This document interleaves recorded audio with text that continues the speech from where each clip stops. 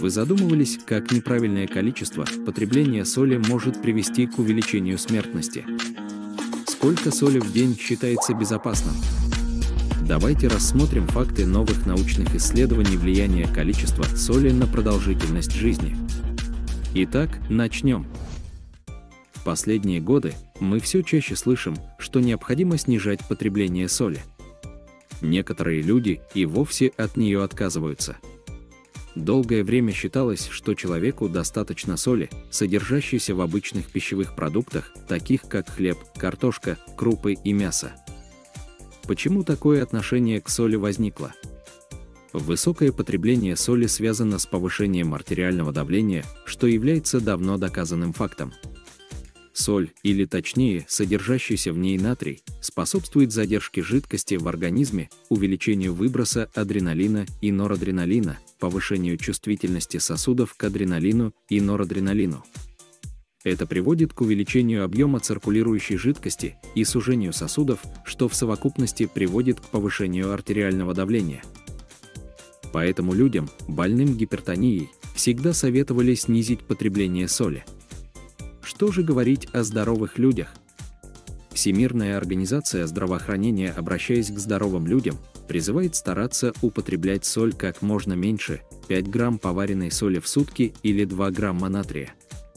Логика заключается в том, что уменьшение потребления соли может предотвратить повышение давления, уменьшить риски развития гипертонической болезни и, следовательно, сократить риски сердечно-сосудистых заболеваний.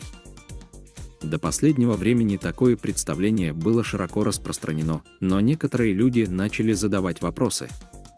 Почему, например, в Японии жители потребляют больше соли, чем жители США, и при этом продолжительность их жизни больше, а частота заболеваемости сердечно-сосудистыми болезнями меньше? Существует пробел в связи между потреблением соли, повышенным артериальным давлением и смертностью от сердечно-сосудистых заболеваний. Это чисто умозрительная гипотеза. В доказательной медицине необходимо проверять все в рандомизированных клинических исследованиях или, по крайней мере, в больших эпидемиологических наблюдениях. Попытка началась несколько лет назад. Отслеживание большого количества людей с целью связать потребление соли с развитием гипертонии и риском сердечно-сосудистых заболеваний. И такое исследование существует – оно ведется в настоящее время и называется «Для проспектов Баннеры Урал Епидемиол». В этом исследовании участвует около 225 тысяч человек из 27 стран. В 2018 году в журнале Lancet в августе были впервые опубликованы промежуточные данные. Эти данные оказались настолько противоречивыми, что вызвали шквал критики от многих известных кардиологических ассоциаций. Тем не менее, факт остается фактом. Опубликованные данные касаются 150 тысяч человек в возрасте от 35 до 75 лет, абсолютно здоровых, то есть без кардиологических заболеваний, гипертонии, сахарного диабета, болезней почек и так далее, просто здоровых людей. Механизм исследования был следующим – собирали среднюю порцию урины один раз в сутки у людей и по определенной формуле вычисляли количество натрия, который человек выделяет в течение суток. Количество натрия, выделяемое с мочой, хорошо отражает количество натрия, употребляемого с пищей. Результаты разбили людей на три группы. В первой группе среднее потребление соли составляло 10,1 грамм в день, во второй – 11,75 грамм, а в третьей – 14,38 грамм. В первой группе с самым низким потреблением соли число смертельных случаев сердечно-сосудистых заболеваний было выше, и в целом была выше заболеваемость сердечно-сосудистыми болезнями. Во второй группе с умеренным потреблением соли не наблюдалось связи между потреблением соли и заболеваемостью сердечно-сосудистыми болезнями. Наконец, в третьей группе наблюдалось слабое увеличение частоты сердечно-сосудистых заболеваний. Однако эти данные не являются достаточно показательными. Если нарисовать график зависимости частоты заболевания сердечно-сосудистыми болезнями от количества потребляемой соли, то график получится в виде английской буквы J. То есть низкое потребление соли ведет к увеличению смертности. среднее потребление соли показывало самую низкую смертность, в то время как высокое употребление соли незначительно увеличивало количество сердечно-сосудистых заболеваний. Почему так произошло?